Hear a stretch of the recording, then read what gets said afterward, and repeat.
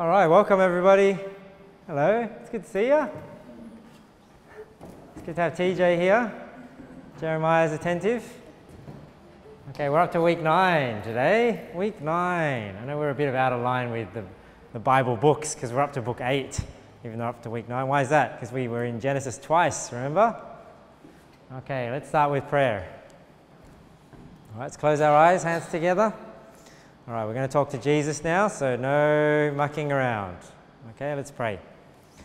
All right, thank you, Lord Jesus, for uh, bringing us here, and thank you for blessing us and uh, help us to learn the lesson that we have today as we look at the book of Ruth. And we pray these things in Jesus' name. Amen.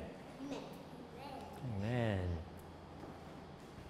Just a reminder three rules. Who remembers the three rules? Do you remember one of the rules? Danny, what's one of the rules? Sitting down.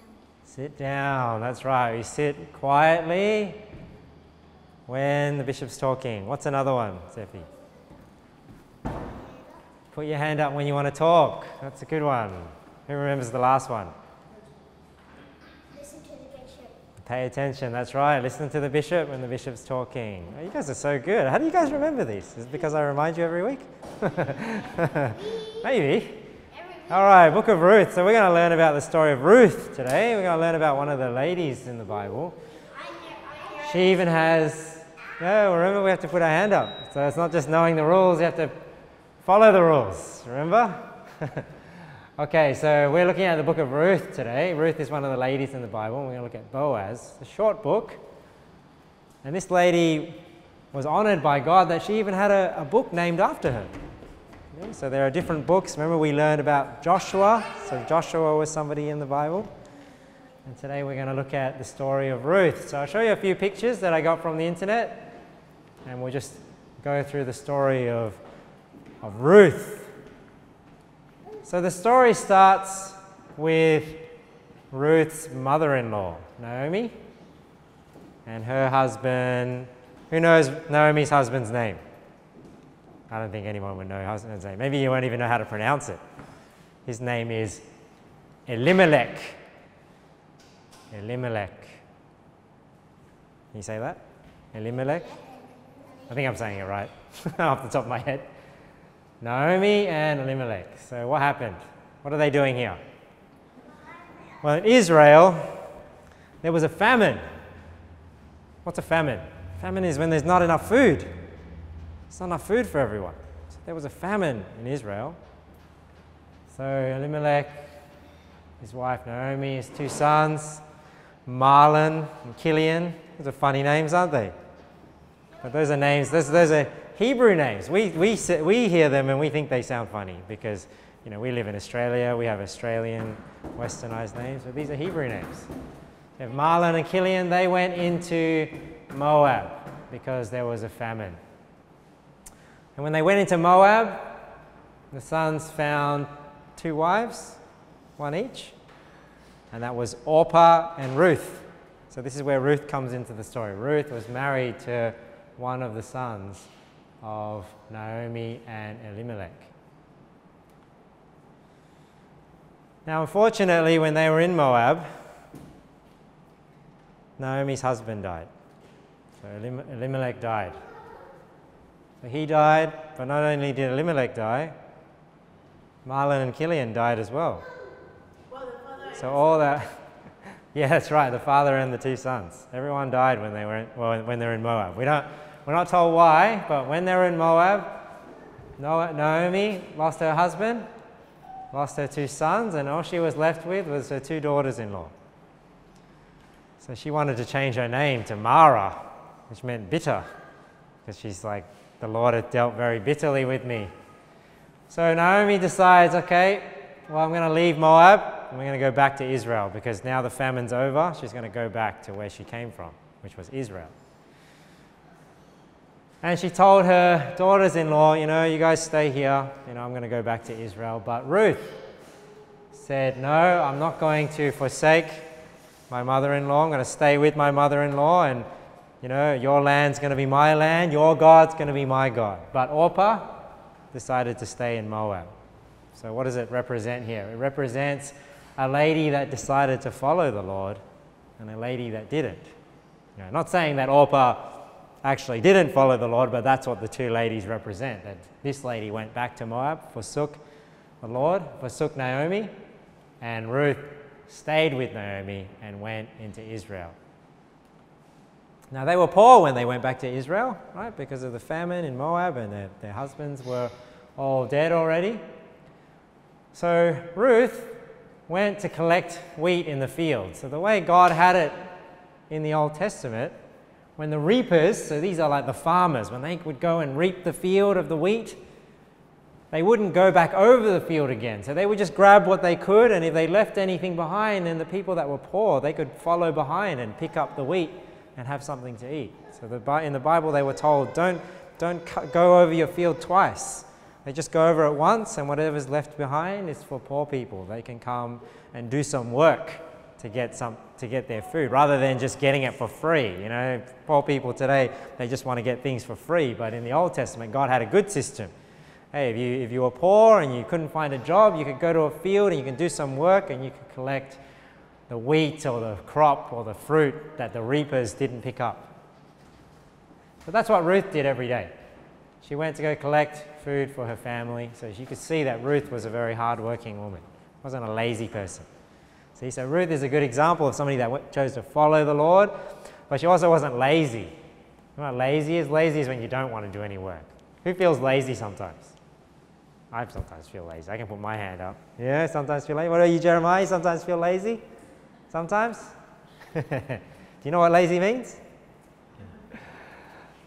Now, what happened with Ruth? So, Boaz, this is where Boaz comes into the story. Boaz was the man that owned this farm.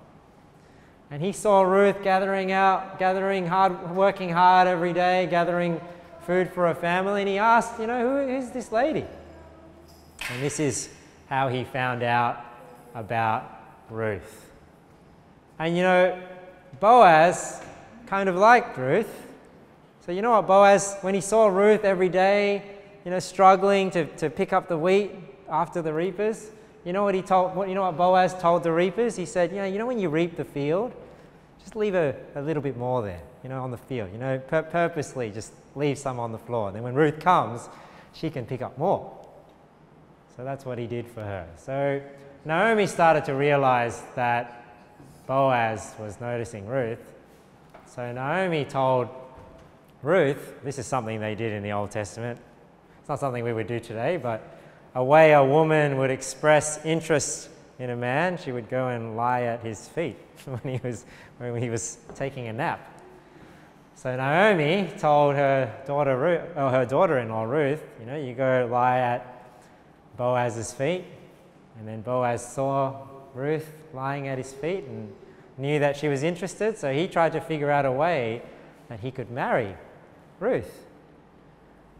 Now, he couldn't marry Ruth directly because there was somebody that was nearer of kin to Naomi's husband that had a right to marry Ruth. So he had to go and figure out a way how he could convince this man to let him marry Ruth. So when he was at the gate, oh, I won't tell. So this is our verse for today in Ruth because Boaz recognized Ruth as a virtuous woman. So here's our verse today. It's from Ruth chapter 3, verse 11. And this is Boaz talking here. And now, my daughter, fear not, I will do to thee all that thou requirest. For all the city of my people doth know that thou art a virtuous woman. This means you're a very hard working, you're a very uh, good natured person. So it says here, Ruth chapter 3, let's read it together. You ready? Ruth chapter 3, verse 11. And now, my daughter, fear not, I will do to thee all that thou requirest. For all the city of my people doth know that thou art a virtuous woman. Ruth chapter 3, verse 11. So Ruth is a good example for us, isn't she? A good example for us to follow. So what did Boaz do? Boaz was one of the nobles in this city. He was sitting at the gate of the city. and he comes across, we don't know this guy's name, we come across the next guy who, was, who had the right to marry Ruth. And he asks this man, he says, Hey, you know, our brother Elimelech died and left a field. And he's asking, Hey, do you want to buy that field or can I buy it? So the man says, No, I want to buy that field. But then he says, Well, if you buy the field, then you have to marry Ruth as well. So this man didn't want to buy the field because he didn't actually want to marry Ruth. So Boaz asked him, Well, maybe I'll buy it then, and then I'll take Ruth to wife. So he did. And this is another thing that they did in those days in Israel, which is quite interesting. That when they made a deal with somebody, do you know what they did? They took off their shoe. They took off their shoe and gave it to the person as a witness that we just made a deal together. So here's Boaz. You see how he took off his sandal? And he's giving it to the man to, sim- to show, hey, we made this deal. We made this agreement. And that's how Boaz ended up marrying Ruth. So, what's the moral of the story of Ruth? Because do you know who Boaz is? Boaz was the father of Obed. You probably don't know who that is. Does anyone know who Obed is? No? Obed was the father of Jesse. And whose father was who who who was Jesse the father of? He was the father of David the king. So you see, you know who David is? Yeah. The one who killed Goliath. That's it. That's right. He was the second king of Israel. We're going to learn about him soon. So, what's the moral of the story here? Well, we see Ruth didn't forsake Naomi. She chose to follow the Lord. She worked hard. She ended up getting noticed by Boaz. So, God blessed Ruth by choosing to follow God, by providing a husband for her, and she actually ended up being one of the descendants of Jesus Christ. So that's the interesting story of Ruth. So she's a good example for us, and because she decided to follow the Lord, the Lord used her as part of the lineage of our Savior, Jesus Christ. All right, so I hope you learned something there today, kids. So today we've got what does the ball mean? Games. We got some games today, so we're going to go out to the to the hall, uh, to the oval and play some games to help us to remind us about picking up food and working hard for uh, Ruth. All right, let's let's get up and let's get outside.